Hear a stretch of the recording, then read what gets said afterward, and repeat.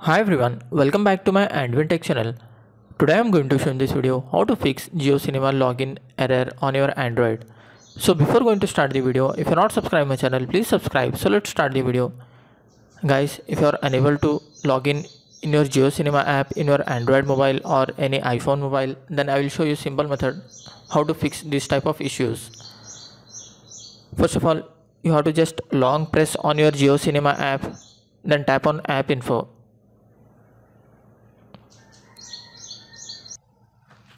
after that once you have to tap on force stop then tap on ok after that you will find here storage and cache. Tap on that. Once tap on clear cache after that tap on clear storage. Tap on delete then go back. Here you will find permissions. Tap on that. You have to allow all the permissions one by one. Like location microphone. Just tap on that. Allow the permission then go back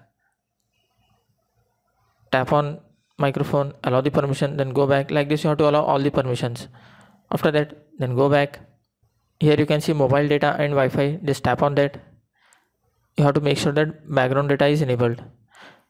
After that you can see second option unrestricted data usage. You have to just enable this option then go back.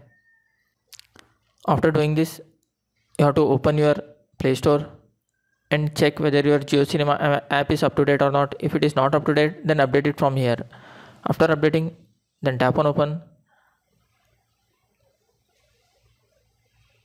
Then tap on allow. Then tap on this profile icon. Then try to log in. After doing this, hope your issue will be resolved. That's it guys. So in this way, you can fix JioCinema login error in your Android or iPhone. Thanks for watching. Hope if you like this video, please like, share and don't forget to subscribe.